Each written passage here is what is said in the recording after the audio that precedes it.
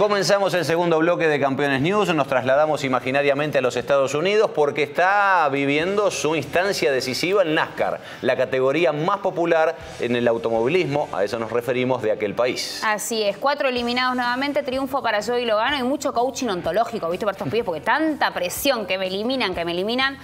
¿Cómo van a llegar a diciembre estos pibes? Bueno, no sintió la presión en este caso lo gano porque para seguir en carrera tenía que ganar sí o sí y vaya que lo logró. ¿eh? Mm. Manejando allí la punta, 45 vueltas apenas de las muchas que tienen habitualmente estas eh, competencias, pero el hombre con la victoria se ganó el derecho a seguir. Entre los eliminados, el que quedó afuera, que era uno de los candidatos a principios de año, es Brad Keselowski. Sí, Keselowski, que yo soy tan fan de él desde que hizo esas cosas en Twitter. La gente torpe, entre torpes nos queremos, pero bueno, Keselowski, upa, arriba.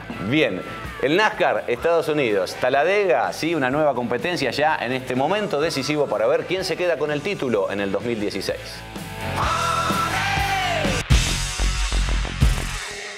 Encendido Príncipe lo tiene todo.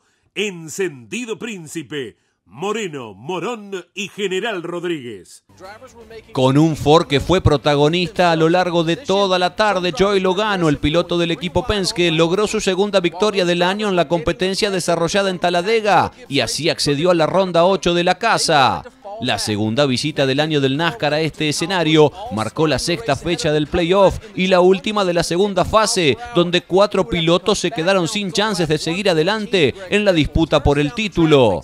Logano empezó complicado como veíamos y encima estaba obligado a ganar para avanzar de ronda, pero lo hizo, liderando 45 de las 192 vueltas que se disputaron.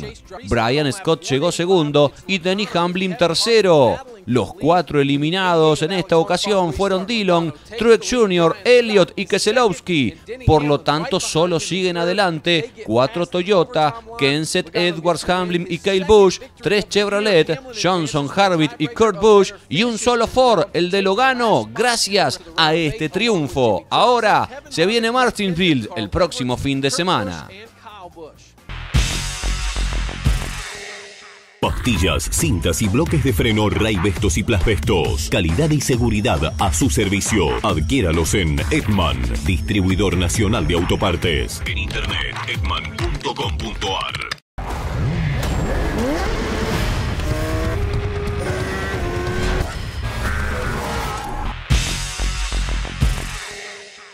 En instantes vamos a ver la Fórmula 1 con el triunfo de Lewis Hamilton, también lo que ha sucedido en el Mundial de Motociclismo que corrió en Australia. Y a propósito de las motos, seguimos con nuestro sorteo de estos últimos días, Nara. Así es, sigue en marcha el sorteo de la gorra de Tati Mercado, así que ya saben, tienen que participar en todas nuestras redes, arroba campeonesnet, en Twitter, en Instagram y en Facebook. Te la podés quedar. La semana que viene anunciamos quién se la llevó y tengo que contarte quién se llevó el libro de los 50 años de campeones y la remera. Se fue para el tigre nomás, que contiene al Delta Soñado, que yo soy tan fanática, Silvio Marzano. Participó y se lo llevó. Ahí está, el librito es para vos. Bien por Silvio entonces, ¿eh? un nuevo ganador de tantos concursos que hemos venido haciendo en esta temporada. Se aproxima el Dakar, ya falta casi nada para que se ponga en marcha esta carrera, la más larga y difícil del mundo. Y uno de los protagonistas de la Argentina, habituales, representante de Renault, Emiliano Espataro, nos va a contar detalles al respecto. Tenemos la palabra de él. sí, una nota interesantísima. ¿Sabés de qué habla además? ¿De, qué tan cerca estuvieron de que Alain Prost corra en esta edición?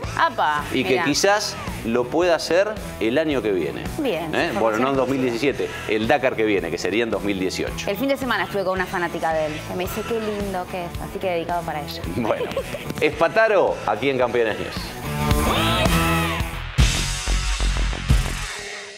Genud Autopartes eléctricas, cables de bujía, tapas de distribución. La legítima tapa azul.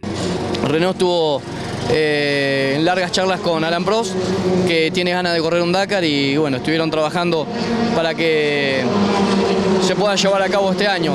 Después por el tiempo y, por las otras tareas que tiene Prost no se pudo encontrar un momento para hacer una buena cantidad de pruebas, la que él pretende, que son muchas.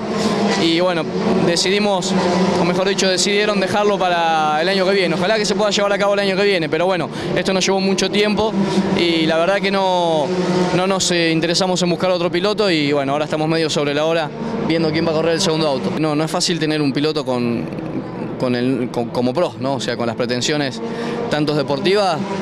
Eh, no, no es fácil tener un piloto así, pero creo que estamos preparados para poder atenderlo y con un año de trabajo por delante vamos a estar eh, mejor preparados. Me gustaría poder hacerlo. Por supuesto que hay una serie de requisitos que no son fáciles de, poder eh, llevar a cabo, que bueno, vamos a intentar poder cumplir con todo lo necesario como para poder tener el año que viene. Él quiere correr el Dakar, está ligado a Renault, así que el único Renault, el único equipo Renault en el mundo de este tipo de competencia es el nuestro, así que es la posibilidad que tiene.